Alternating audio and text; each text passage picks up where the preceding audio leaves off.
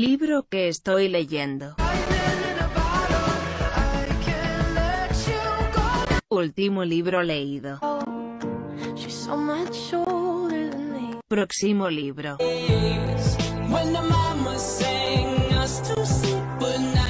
Libro que me ha hecho llorar.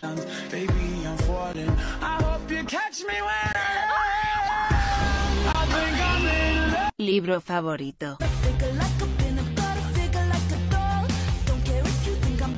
Escritora favorita. Fanfic favorito.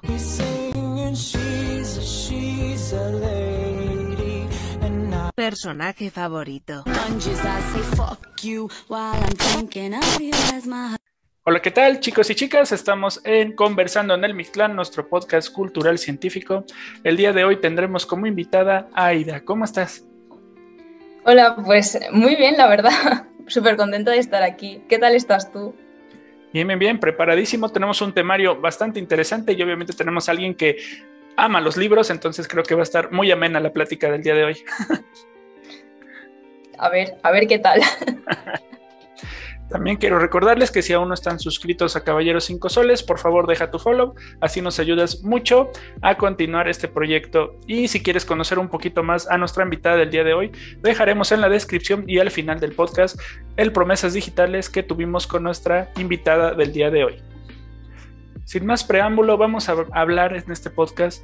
La primera parte del temario sería ¿Cómo lograr empezar a leer libros o a iniciar en la lectura? Platícanos tu experiencia. Sabemos que por el Promesas Digitales que participaste con nosotros, que a ti te gustó la lectura desde muy pequeña, pero gente que no le inculcaron la lectura, que a veces nada más en la escuela es cuando está leyendo. ¿Cómo podemos manejar que empiece a tener gusto por los libros? Mm, a ver, yo creo que realmente es una cosa muy difícil porque no puedes obligar a la gente a que le guste la lectura. Por ejemplo, el, tema de que la gente tenga que leer obligatoriamente en el colegio, uff, es una cosa con la que no estoy del todo de acuerdo porque realmente muchas veces también hace que los alumnos le cojan manía a la lectura y que sean tontos cuando no quieren leer. Yo creo que tiene que salir de la gente en general, tiene que salir de cada uno, yo qué sé, porque ha visto algún libro que le ha llamado la atención, pues yendo a comprar a algún lado o por recomendación de algún amigo. No sé, yo creo que no es algo que se deba obligar a hacer, ¿sabes? Totalmente de acuerdo. En cuestión de la parte escolar, sabemos que la mayoría tenemos que tener cierto pues equilibrio en cuestión de saber algo y la mejor manera, entre comillas, es leyéndolo, ¿no? En cuestión de ya querer aprender una lectura nueva, fuera de la parte laboral, fuera de, este, fuera de la parte escolar, a ti en tu recomendación, en tu experiencia, ¿ha, ¿ha, apoyado, ha ayudado que las películas ahora se manejen basada en este libro? ¿Crees que ha apoyado a que la gente pues quiera aprender un poquito más sobre la lectura? Sí, la verdad es que sí. O sea, yo sinceramente no suelo consumir muchas adaptaciones de libros, pero creo que en general sí que son una buena manera de hacer que a la gente le llame la atención leer el libro. O sea, yo conozco personalmente a muchos amigos que han dicho, wow, pues qué guay ha estado la película, voy a leer el libro. Realmente es una manera de darle mucha visibilidad a la lectura. Pero sí, yo creo que es una buena forma de darle visibilidad, la verdad. Mm, también depende mucho de cómo hagan esa adaptación, porque hay veces en la que sí que es verdad que se inventa un poco más la trama, ¿no? Pero en general yo creo que sí que es una buena manera de hacer que la gente lea más. No sé si te ha tocado escuchar algún comentario acá en México, es mencionado bastante en cuestión de que es que me aburrió el libro. O sea, empecé a leerlo y me quedé dormido. O sea, me ha, me ha tocado mucha gente que me comenta eso. Entonces, ¿cómo apoyarlo en ese aspecto? ¿Cómo lo ves? Yo creo que si un libro te está pareciendo aburrido o si realmente te duermes con él, como acabas de decir, yo creo que no es el momento de leer ese libro o incluso a lo mejor ese libro ni siquiera es para ti. O sea, yo creo que cuando la lectura es una cosa que se vuelve aburrida, que te tienes que obligar a leer, es momento de cambiar, porque si no es cuando ya mm, no funciona la cosa, ¿sabes lo que te digo? Es como que es hora de buscar un libro que te guste más, que te llame más la atención y a lo mejor así sí que encontrarás alguna forma de que la lectura te guste un poco más. Efectivamente, queridos radioescuchas del día de hoy, si tienen algún género predilecto o algo que les llame la atención, eso los va a apoyar para que empiecen a leer, porque si no les llama la atención, si nada más es porque te lo presentó el novio, la novia y vete esto, pues no, no va a funcionar. Sí, depende muchísimo de gustos personales, es que es eso, a lo mejor a un amigo tuyo un libro le ha parecido increíble y a ti no te está gustando. No hay que obligarse a leer. Efectivamente, esa es la primera frase importante del podcast de hoy. Que te guste y no obligar a la gente. Si no, si no le llama la atención, pues dejarlo por la paz. sí, totalmente. Pasando al siguiente tema sería, ya tienes el libro predilecto o el libro que te llamó la atención. Vamos a enfocarnos al sitio ideal, porque muchos lo tenemos, ¿no? A mí me gusta leer luego en un lugar específico de la casa o con un clima. Hay gente que le gusta ver llover y ese es el día que dice, voy a leer, ¿no? Entonces, ¿tú tienes un sitio predilecto?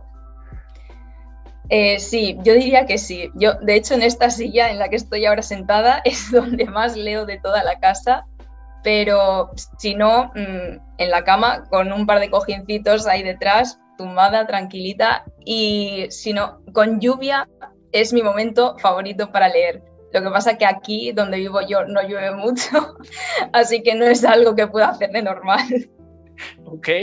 Eh, también nos ha comentado mucho sobre tener cierta bebida, cierto alimento que los apoya a sentirse con más ganas de leer. ¿A ti te ha pasado esa situación? Sí, la verdad es que sí. Yo siempre que me hago un café es como que me apetece más leer. Siempre que me pongo a leer por la mañana o por la tarde, mientras desayuno, por ejemplo, siempre tengo que tener el café ahí y es como que me relaja muchísimo en general. Correcto. En cuestión de poder escoger un lugar predilecto a las personas nuevas, ¿Cuál, es tu recomendación? ¿Tiene que ser algún lugar específico de la casa? ¿Tienes alguna, como, no sé, cierta estructura que debe llevar? A ver, no, yo creo que es, es, una cosa también muy personal, ¿no? Es como el tema de los gustos literarios, ¿no? Yo creo que cada persona tiene que encontrar su huequito en el que esté cómoda, en el que esté tranquilo y pues después ya en base a eso es como hacer ese huequito tuyo, ¿no? Por ejemplo, yo sí que recomendaría que buscarais algún sitio donde haya silencio en general o estéis tranquilos, eh, donde estéis cómodos sobre todo también y pues a partir de ahí, yo qué sé, para algunas personas a lo mejor es el exterior, para otras es el interior, depende muchísimo de gustos. Totalmente de acuerdo. Hay gente que estás en un café y se escucha el ruido de pláticas, de todo, y la gente está leyendo muy tranquilamente, ¿no? Sí, sí, totalmente. Y yo así de, yo no podría hacer eso. ya, ya, totalmente, es verdad, ¿eh? Ahora, llegando a otra parte del podcast que nos pidieron mucho los suscriptores, es cómo manejar la parte de el querer saber más, porque no sé si te ha tocado eso de que estás en el libro, estás en el capítulo 1 del libro 1, ¿no? Y ya va la saga en el séptimo libro y te empiezan a contar, no, es que pasa esto, entonces las ansias de decir, bueno, me adelanto o me voy al final, ¿te ha pasado esa situación? Sí, sí, totalmente. Me pasa muchísimo. Sí, sí. Yo tengo suerte porque, claro, como conozco que mi género por excelencia es la fantasía, Casi siempre leo libros de fantasía y casi siempre escojo libros que me gustan. Entonces siempre me encuentro en esa situación de estar leyendo o, por ejemplo, de tener que ir a algún sitio y decir, es que quiero leer más, quiero leer más, no puedo dejar de leer. Sí, sí, totalmente, me pasa muchísimo. Ahora, ¿tú ves con buenos ojos o con malos ojos el querer saltar episodios, ¿no? Porque hay gente que luego no lleva una simetría, ¿no? De que paso este libro, paso este libro, le empiezan a contar una parte pues muy interesante en el episodio 7 y vas en el cuarto, se saltan del libro. ¿Tú cómo ves esa parte? A mí personalmente no me gusta. A ver, depende. Yo, por ejemplo, sí que lo hago cuando veo que hay capítulos que no puedo de lo que me están aburriendo. Entonces, en esas situaciones sí que es verdad que me salto páginas para ir a una parte en la que yo me guste, o sea, me esté gustando más la lectura, ¿no? Partes que me estén enganchando más, que yo sepa que voy a estar pendiente y atenta. Pero en general, mm, por el ansia de saber qué va a pasar, no es algo que apoye. Totalmente de acuerdo en ese aspecto. Vamos a hablar un poquito más de géneros literarios relativamente nuevos, por así decirlo, en cuestión de redes sociales, como es el manga. Tú ves que es, un aspecto diferente, ¿no? Ahí como que subrayan mucho las acciones de las personas, te, te hablan mucho del entorno, entonces se hace un poquito para, en términos nuevos de a nuevos escritores, larga la lectura. ¿A ti te ha costado trabajo en ese aspecto o ya ha llegado a cansar si has tenido la oportunidad de leer un manga en cuestión de que te van describiendo todo poco a poco a veces?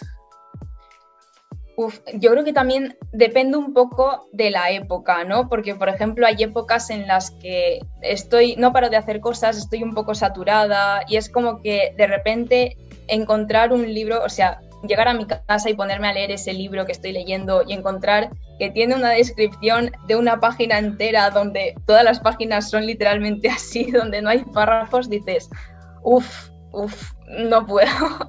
sí que es verdad que eh, hay situaciones y situaciones. Yo, por ejemplo, cuando veo que estoy un poco saturada y sé que esos libros no me van a enganchar y no voy a estar por la labor de leerlos, sí que me voy más hacia manga o hacia el cómic, por ejemplo, porque como son mucho más dinámicos, es como que me sienta mucho mejor leerlos.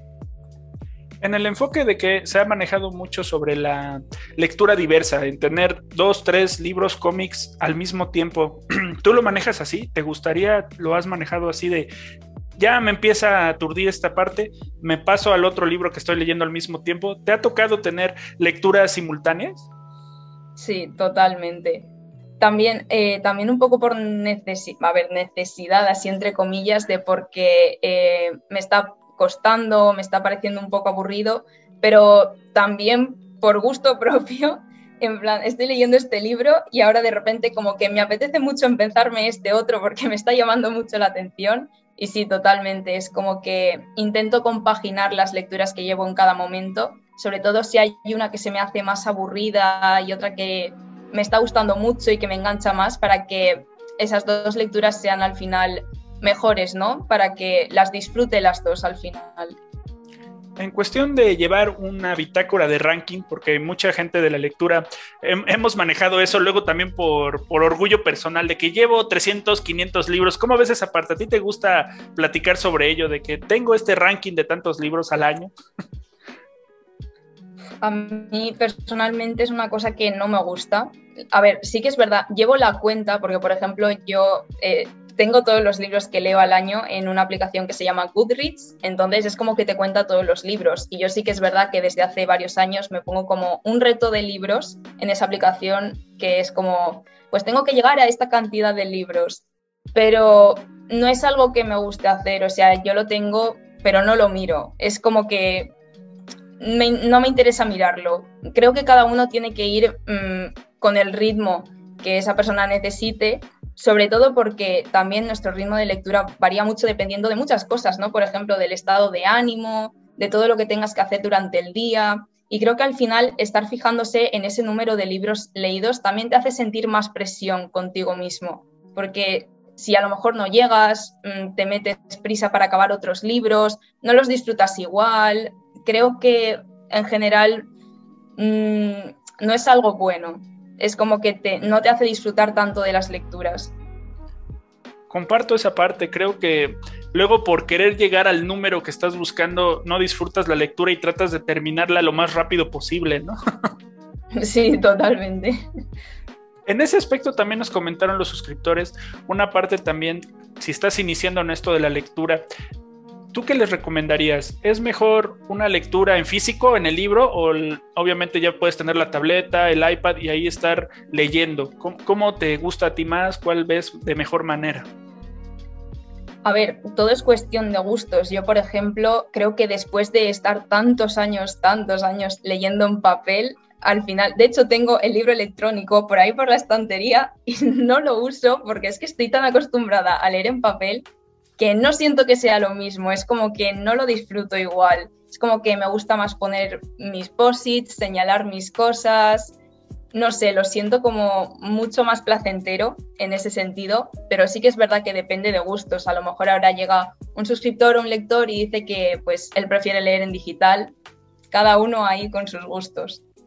también hay un cierto tabú, no sé si sea cierto realmente, de que si tú manejas la lectura amplia digital, te causa mayor molestia a la vista, te puede causar a la larga pues alguna enfermedad. ¿Tú cómo lo consideras? ¿Has tenido gente cercana que sí dice, me canso más la vista leyendo virtualmente que, físicamente? Uf, pues no lo sé, la verdad. No he tenido ninguna experiencia así porque también creo que todo mi círculo cercano lee en físico. Mm, de, bueno, sí que es verdad que a lo mejor alguna persona que conozco leía en digital y de repente se pasaron en físico, pero no sé si es por esa cuestión en general o porque lo prefieren así, no tengo ni idea. Correcto. Ahora, en cuestión de el género a escoger, ya, ya tienes el género, obviamente tú nos comentas que prefieres mejor leer el libro que ver la adaptación en, en, película por ciertas situaciones, ¿no? Luego no adaptan todo, el tiempo no lo, no lo da. Nos vamos a enfocar a tu promesas digitales, obviamente a Percy Jackson. ¿Te gustaron las adaptaciones en el cine? A mí sí, a mí me encantaron, la verdad. Sí, yo la primera película la disfruté muchísimo y de hecho cada vez que la echan en la televisión yo estoy ahí como si no la hubiese visto nunca, o sea, me gusta muchísimo.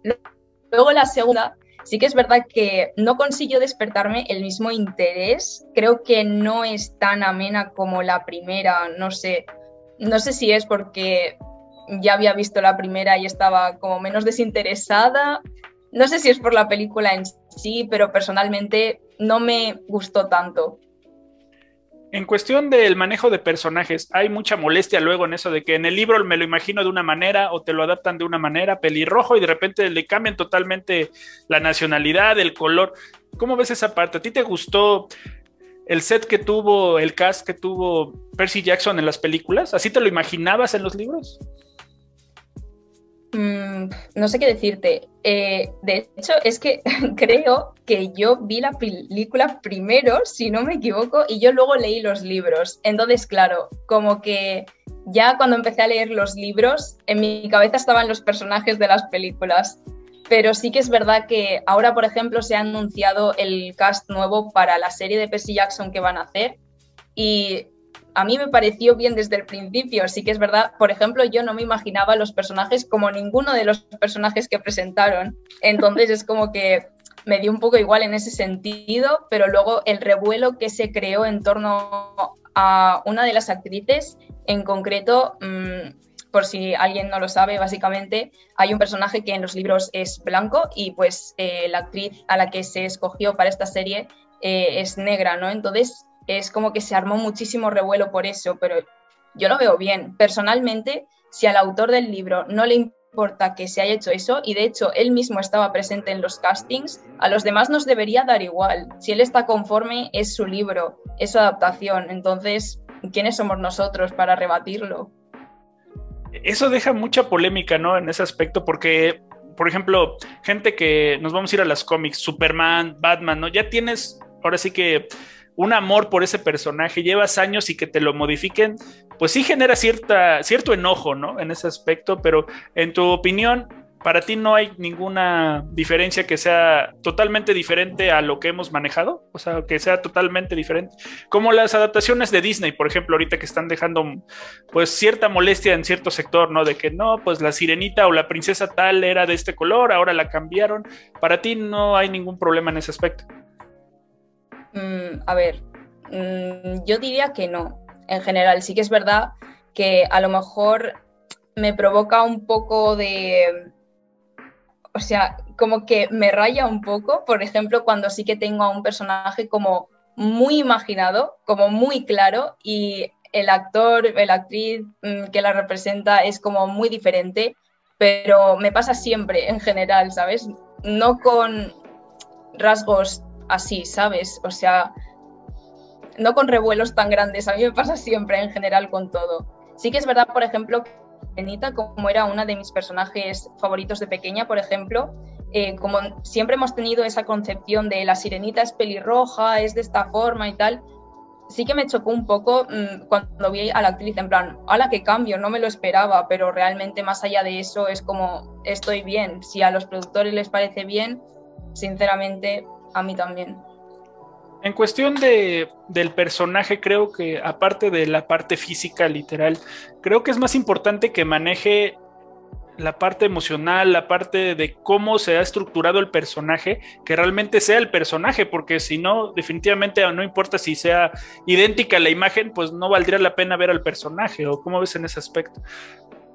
Sí, totalmente. O sea, a mí una de las cosas que también me enfadan de esta situación es que están juzgando directamente a la actriz sin haber visto cómo actúa, sin haber visto de qué es capaz, ¿no? Eh, directamente por su aspecto físico, cuando la actriz además es que es una niña, entonces no tiene sentido. Mm, la han elegido por una razón, que es por cómo actúa, y el autor la ha elegido por una razón, porque piensa que es buena para ese papel. Entonces, ¿quiénes somos nosotros para decidir mm, si esa actriz es buena o no, sin haber visto de lo que es capaz antes? Totalmente de acuerdo, hay que esperar, ¿no? Ya si realmente vemos, no se parece absolutamente nada en el personaje, en las acciones, en cómo te lo han este, mencionado en los escritos, en los libros, bueno, ahí sí puede llegar a cierta polémica, pero no juzgar antes de tiempo, ¿no? Totalmente, es verdad.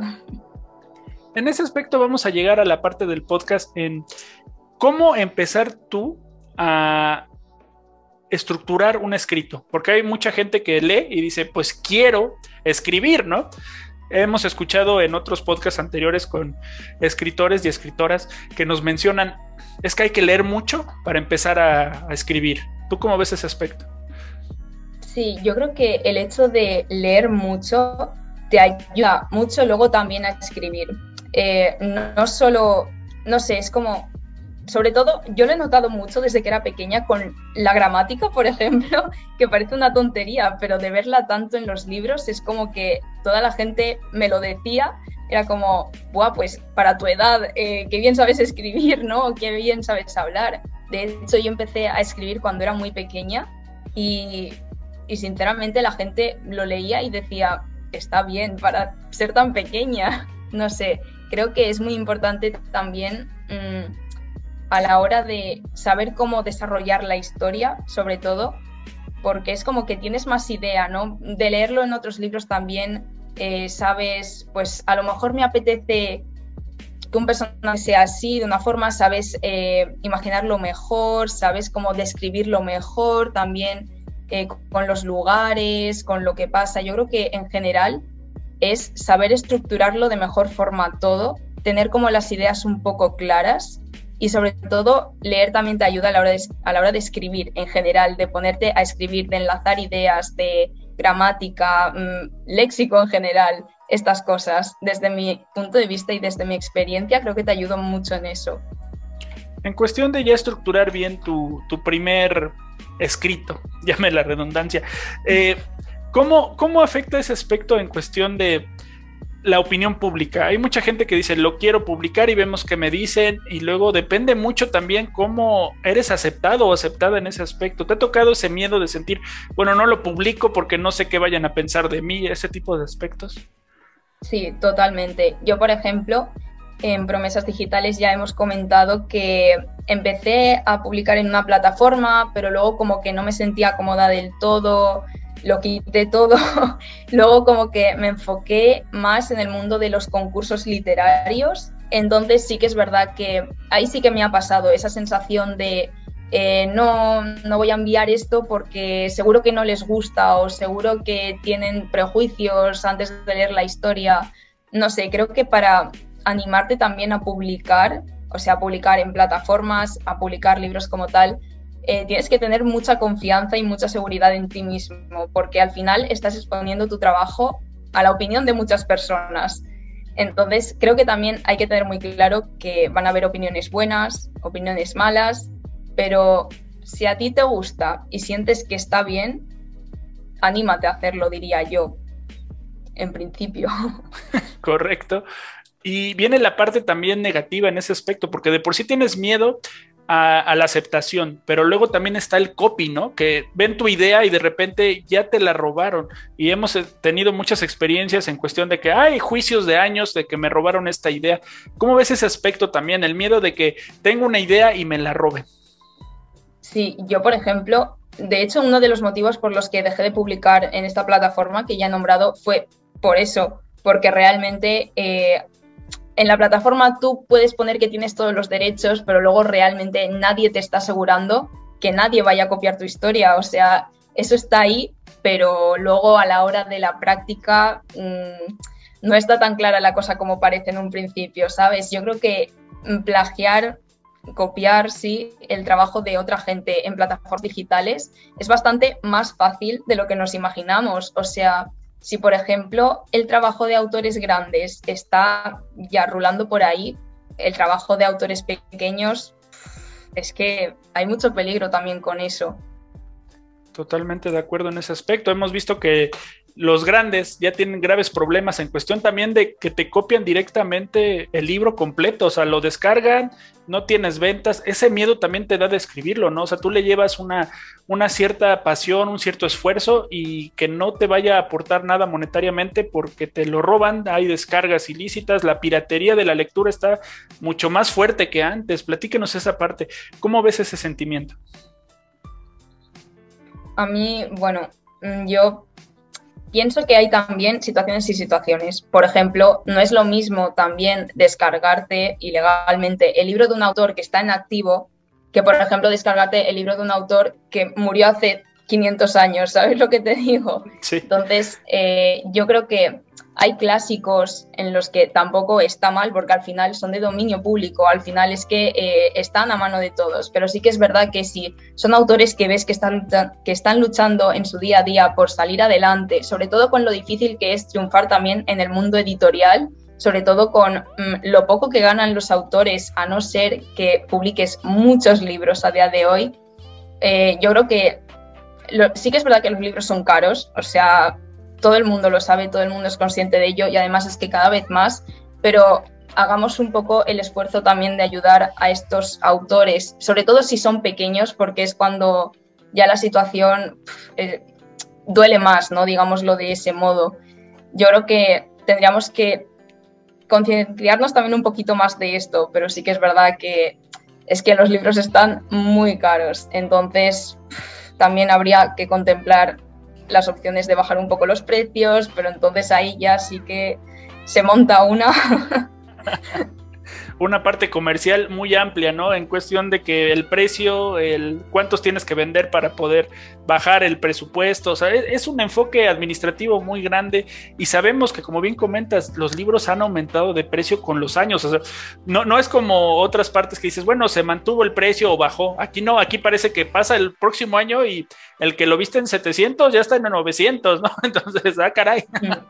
Sí, sí, totalmente, es una locura, sobre todo últimamente eh, bueno, por ejemplo, yo soy de España, entonces aquí tenemos los euros, ¿no? Yo me acuerdo cuando era pequeña que un libro a lo mejor te costaba 16 euros y hace poco vi uno que vendían casi por 23 y dije, ¿qué está pasando? O sea, ¿qué locura es esta? No entiendo. Madre mía. Totalmente de acuerdo en ese aspecto.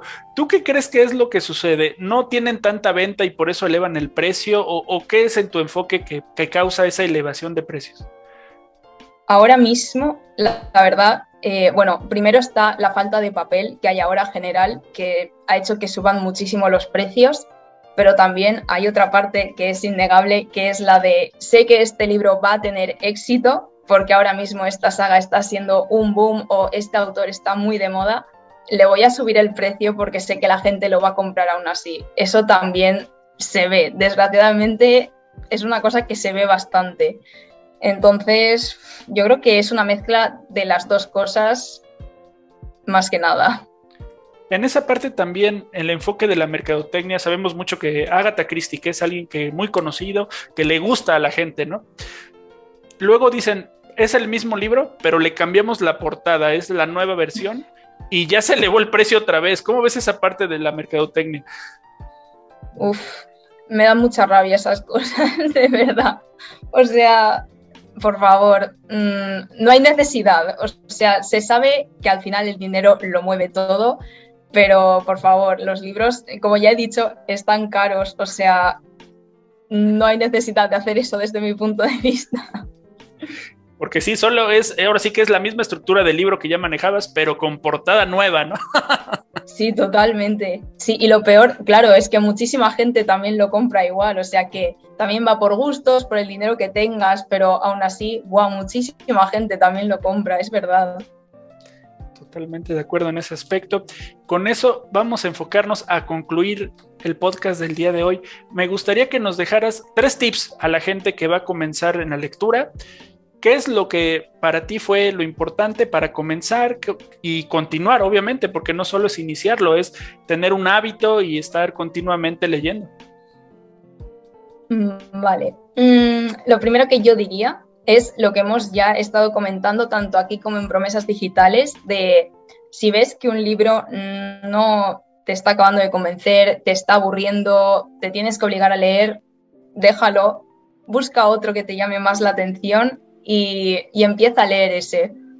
Eh, yo creo que eso al final es lo más importante, ¿no? Encontrar el libro con la trama que te guste, que te enganche, que veas que disfrutas con él. Eso yo creo que es una de las cosas más importantes. Luego, el segundo tip, yo diría que también es encontrar a gente con tus mismos gustos. Porque al final comentar los libros también, comentar lo que pasa, saber cómo te has sentido, compartir con otras personas cómo te has sentido, es como que hace la experiencia mucho mejor, hace que disfrutes mucho más de ella. Y uff, la tercera, mm, a lo mejor yo diría que os atreváis a hacer los libros vuestros, en el sentido de que, eh, bueno, voy a poner un ejemplo, es que tengo aquí justo uno de los libros que me estoy leyendo, que es El retrato de Dorian Gray. Y aquí eh, le estoy poniendo un montón de posits de parte gustando muchísimo. Atreveos a ponerle posits, atreveos a rayar los libros, eh, señalad las frases que os gustan, yo qué sé, hacedlos vuestros, que tengan vuestras marcas, porque luego al final es como que es mucho más personal. Yo, por ejemplo, no me atrevía a rayarlos hasta hace nada y ahora no puedo parar. Siempre estoy como subrayando frases que me lo siento como mucho más personal, mucho más íntimo en ese sentido, como una experiencia mucho más propia. Así que yo diría que esos son los tres tips en general. Excelente. Creo que nos aportas mucho en ese aspecto porque te da la forma de entender que tu lectura es tuya, ¿no? Que es tu propio estilo y que llevas, pues ahora sí que en tu mundo ese libro es tuyo. Sí, totalmente. Y sobre todo también a la hora de, por ejemplo, dejarle el libro a otras personas, que vean lo que, has, lo que te ha hecho sentir, lo que has pensado, lo que te ha gustado. Creo que también que es algo muy bonito. Totalmente de acuerdo, Aida. Platícanos, por favor, ¿en qué redes te podemos encontrar? Pues me podéis encontrar en dos redes sociales que son TikTok e Instagram y me podéis encontrar como las sagas de Aida en los dos sitios. Ya escucharon, queridos suscriptores, por favor, pasen a ver el contenido que maneja nuestra invitada del día de hoy. Se van a divertir y van a conocer más de sus lecturas. Alguna les va a agradar. Espero por lo menos que alguna os guste. Y sin más preámbulo, también les recuerdo que si no están suscritos a Caballeros 5 Soles, aparecerán las redes en pantalla.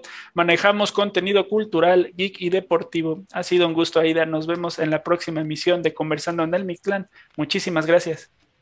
Muchísimas gracias a vosotros por invitarme, de verdad. Bye bye. Hasta luego.